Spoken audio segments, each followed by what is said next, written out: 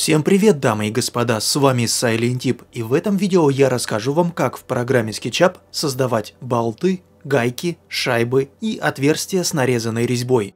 Поможет нам в этом бесплатный плагин AP Fasteners от Джея Ватсона. Изначально плагин был на английском языке.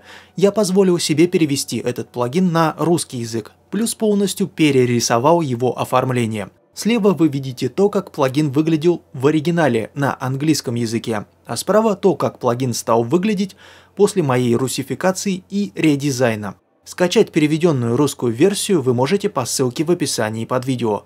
Там есть как ссылка на Яндекс Диск, так и ссылка на Dropbox. Также там есть ссылка на официальную английскую версию этого расширения. Покажу вам процесс установки русской версии плагина AP Fasteners на примере SketchUp Make 2017. Выбираю вверху окно «Диспетчер расширений». В появившемся окне нажимаю красную кнопку «Установить расширение». Захожу в ту папку, в которой у меня находится файл плагина AP Fasteners. В данном случае у меня на рабочем столе сразу две версии этого плагина. Оригинальная английская, размер которой составляет 2,22 мегабайта, и моя переведенная версия, размер которой составляет всего 291 килобайт. Я уменьшил размер установочного файла плагина почти в 10 раз, причем функционал плагина нисколько не пострадал. Я удалил из плагина лишние, не сжатые картинки, которые использовались для оформления. Выбираю мою русскую версию плагина и нажимаю кнопку «Открыть». Установка плагина AP Fasteners завершена. Вот он появился в списке установленных расширений. Закрываю это окно. Теперь, собственно, о том, как работать с этим плагином. Он не имеет своей собственной панели инструментов. Плагин работает через верхний пункт меню «Инструменты», там нужно выбрать AP Fasteners – создание болтов, гаек и отверстий. При первом запуске эта строка будет у вас в самом низу списка. При повторном запуске SketchUp эта строчка поднимется чуть выше. Нажимаю на этот пункт меню. Появится окно плагина. В верхнем списке вам предлагается выбрать, в какой системе измерений вы будете работать. В православной метрической с миллиметрами или же в буржуйской английской системе с дюймами. Раньше по умолчанию в плагине галка всегда стояла на английской системе. Каждый раз при запуске SketchUp настройки плагина снова и снова возвращались к дюймам. Для нас приверженцев метрической системы дюймовая система неприемлема, поэтому я подкорректировал код плагина так, чтобы всегда по умолчанию была выбрана метрическая система с миллиметрами. Внизу есть перечень из пяти вариантов. Там вы можете выбрать то, что собираетесь создавать. Отверстия, болты, гайки или шайбы. В самом низу есть галка для левой резьбы. Думаю и так понятно, для чего она нужна. Также внизу есть выпадающий список «Качество». Там есть 4 варианта качества, от низкого до очень высокого. По идее, настройки качества должны менять детализацию создаваемой резьбы. Но, как я выяснил, данный список настроек качества никак не влияет на создаваемую резьбу. Я так подозреваю, задумка изменения качества у автора плагина есть, но реализовать ее пока что не удалось. Поэтому вам менять что-то в качестве пока что не имеет смысла. По умолчанию плагин создает резьбу с максимальным качеством. Начну, пожалуй, с создания болтов. Нажимаю на болт. Вот такие параметры есть у болта. Это, во-первых, диаметр. Вы можете выбрать его из списка. Допустим, я создам болт M10. Во-вторых, это варианты создаваемой резьбы. То, с какой частотой будут нарезаться витки. Увы, в плагине нет точных цифр. С каким шагом будет идти резьба? Есть только выбор из редкой плотности витков, обычной плотности и частой плотности витков. Далее строка, в которую нужно ввести длину болта в миллиметрах. Потом идут четыре варианта шляпок.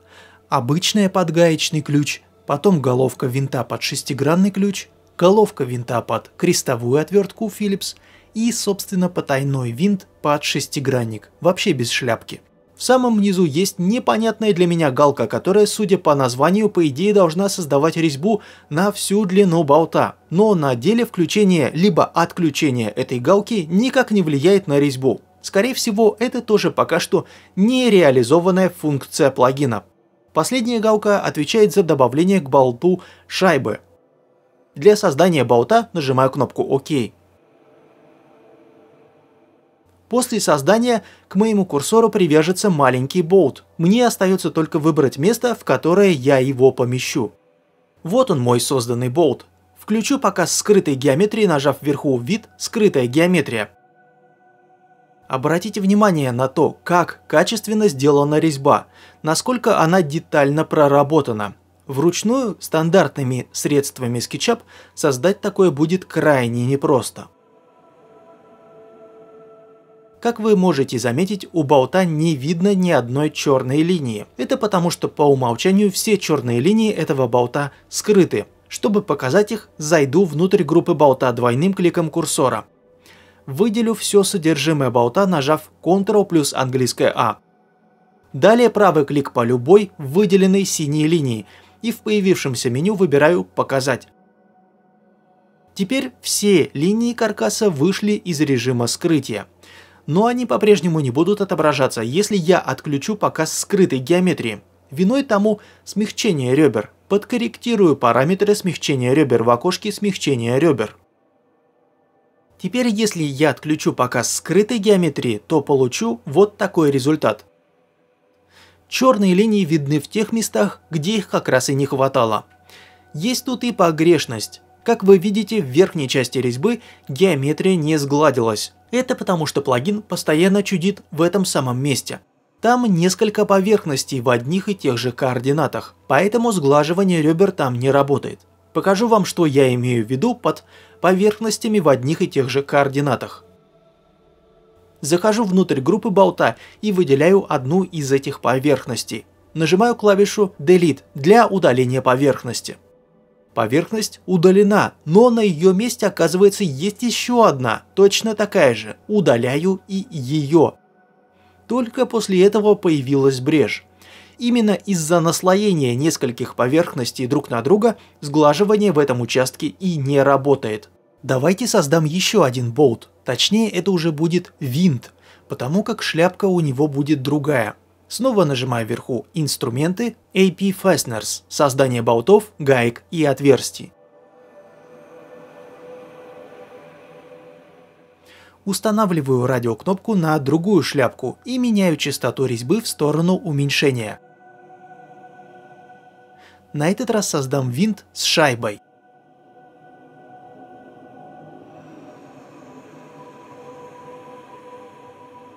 Вот такой получился винт.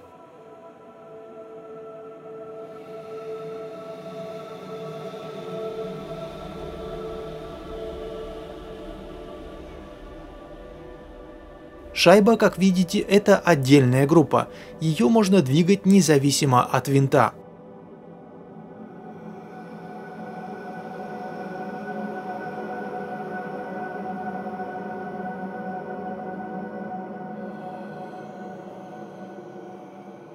Создам еще один винт, на этот раз с шляпкой под крестовую отвертку.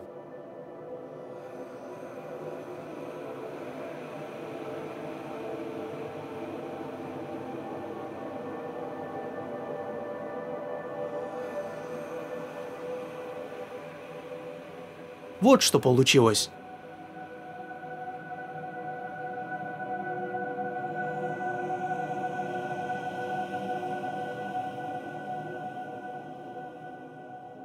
Последний вариант винта не имеет шляпки.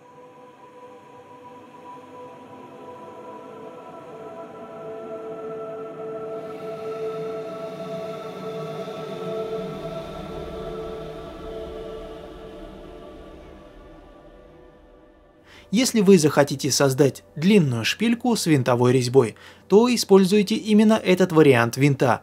Он больше всего своей формой похож на шпильку. Далее перехожу к гайкам. Вариантов гаек тут всего одна штука. Под обычный гаечный ключ. Можно поменять лишь внутренний диаметр и частоту нарезки резьбы. Вот такая гайка М12 у меня получилась.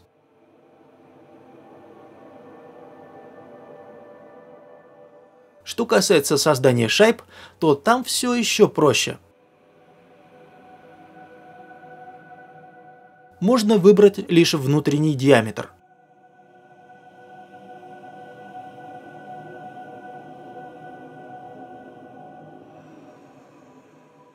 Думаю, что шайбу можно и вручную создать стандартными инструментами SketchUp без использования плагинов. В завершение покажу отверстие, которое умеет создавать этот плагин. Для демонстрации создам коробку толщиной 20 мм.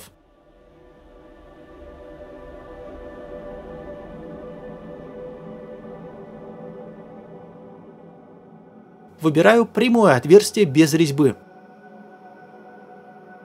Вверху можно выбрать, под какой диаметр болта вы собираетесь сделать отверстие. Диаметр отверстия, ясное дело, больше, дабы болт не цеплял отверстие своей резьбой. Также есть возможность создать свой произвольный диаметр отверстия. Внизу есть выбор – делать отверстие насквозь автоматически или же сделать глухое отверстие на ограниченную глубину. Если вы выберете глухое отверстие, то появится дополнительное поле, в которое нужно вписать число, на какую глубину вы собираетесь делать отверстие. Допустим, у меня это будет 10 мм, половина толщины моей коробки. Вот такое получилось отверстие. Если я включу рентген, нажав вверху «Вид», «Стиль грани», «Рентген», то вы увидите, что отверстие как раз доходит до середины толщины материала. Теперь что касается сквозного отверстия, создаваемого автоматически на всю глубину. Для его создания предварительно нужно выделить две поверхности, через которые отверстие и пройдет. Выделить сразу две поверхности вы можете курсором, удерживая клавишу Shift.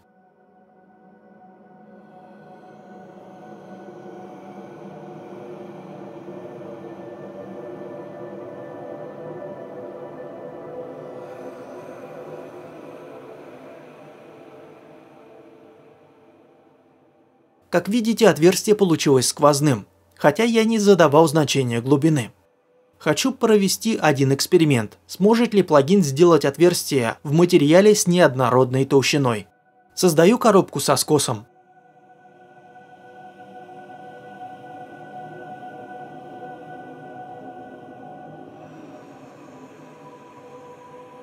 Выделяю две поверхности и снова создаю сквозное отверстие.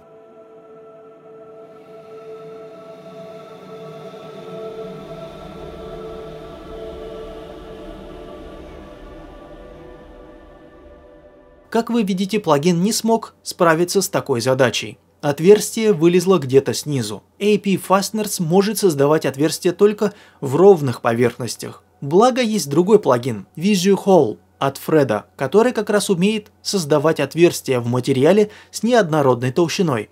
Про Visual Hole я вам как-нибудь расскажу в одном из будущих роликов. Что касается функционала плагина AP Fasteners, то мне осталось показать только отверстие с нарезанной резьбой. Принцип их создания все тот же, что и у гладких отверстий. Создам глухое отверстие М8 на 10 мм вглубь.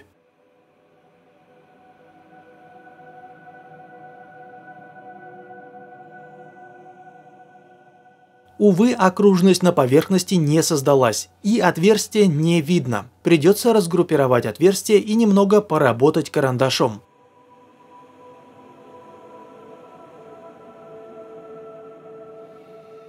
Достаточно было нарисовать одну линию по контуру отверстия, и круг отделился. Теперь его можно выделить и удалить. После удаления окружности отверстие стало видно. Поменяю сглаживание ребер у этого отверстия.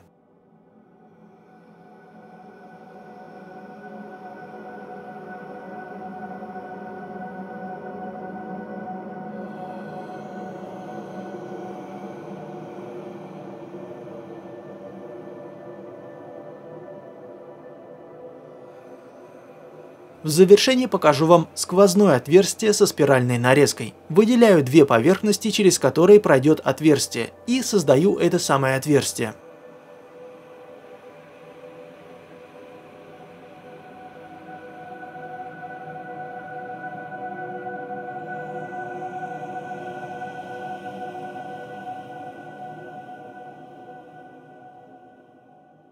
Отверстие с нарезанной резьбой готово. На этом у меня все. Надеюсь, мне удалось объяснить вам, как в программе SketchUp создавать болты, гайки и нарезанные отверстия. Если интересно, то вы можете посмотреть другие мои обучающие ролики по программе SketchUp, которые уже вышли на канале. Например, видео о том, как автоматически создать перила, тире ограждение, или видео о том, как проставить угловые размеры в 3D проекте. Желаю успехов в вашей творческой работе!